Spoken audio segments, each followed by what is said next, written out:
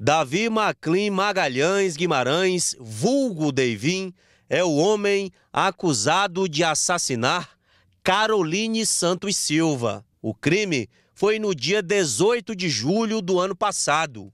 Caroline foi morta a tiros no bairro Promorá, na zona sul de Teresina. De acordo com o inquérito, a vítima foi executada a mando de José Lima Chagas, o Gordete, que já está preso. Gordete era namorado de Carolina. Deivin foi preso na zona rural aqui da cidade de Timon, no Maranhão.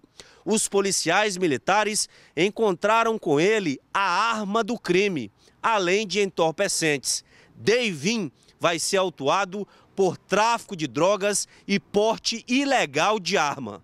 Deivin estava com uma pistola 380, 11 munições intactas, um carregador de pistola, além de uma faca. As investigações ainda apontam que Gordete contratou Deivinho para tirar a vida de Caroline, porque ela se envolveu com outro homem.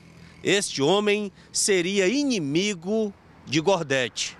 O assassinato continua sendo investigado pela Delegacia de Homicídios. Deivin segue preso na Central de Flagrantes de Timon. Ele ainda deverá ser ouvido pelo delegado Francisco Costa Ubareta, coordenador da Delegacia de Homicídios.